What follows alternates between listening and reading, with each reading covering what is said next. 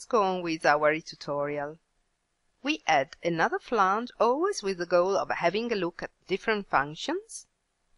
We click on Local Properties and More Options and set the length to 120 millimeters.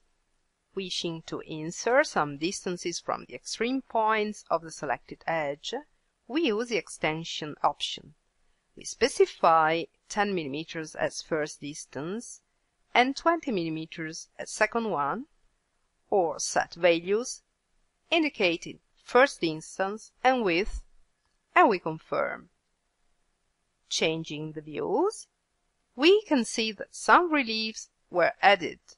As in Global Properties, it specifies that reliefs must be built in this way for bend and flange. We go on in changing our solid and redefine the flange to see in its local properties which reliefs of the flanges are set. OK. We notice that for flanges with reliefs, reliefs must be made rectangular. Now we unlock the lock and change the local property. Instead of rectangular, we state that our reliefs will be oblong with a diameter of 4 millimeters. OK. And rebuild. Let's now manage the relief modification.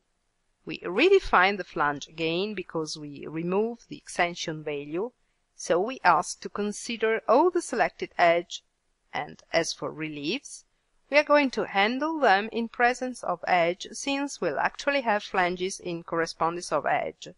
So we define corners instead of the default value. Starting to create the relief on the edge in this way, we specify that we want it circular with a diameter of 8 millimeters and rebuild to see the result. However, this flange doesn't work fine yet, that is, it should also cover the part that in this case is still empty.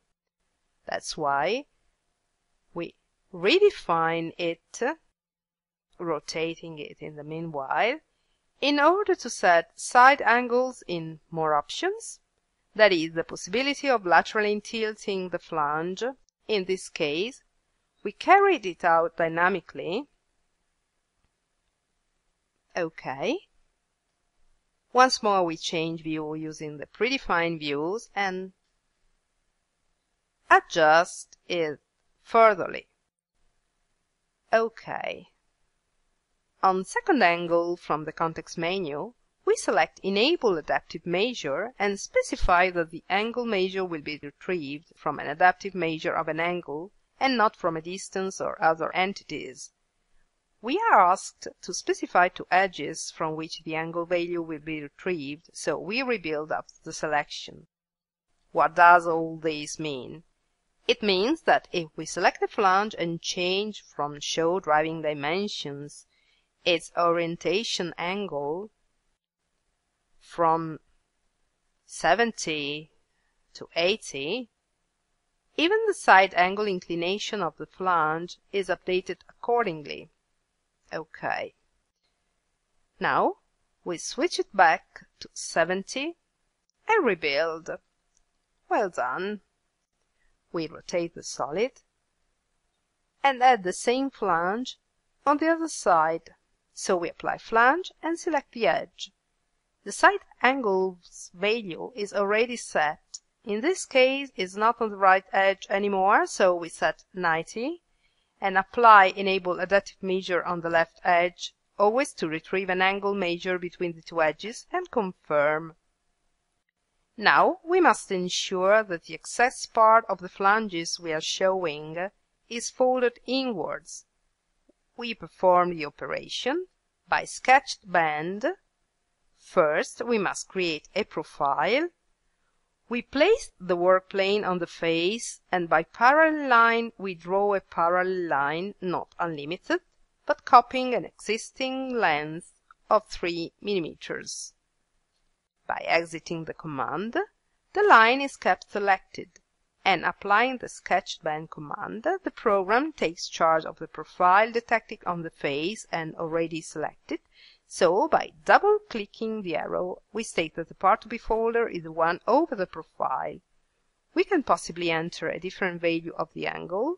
We keep it at 90 degrees and double click the other arrow.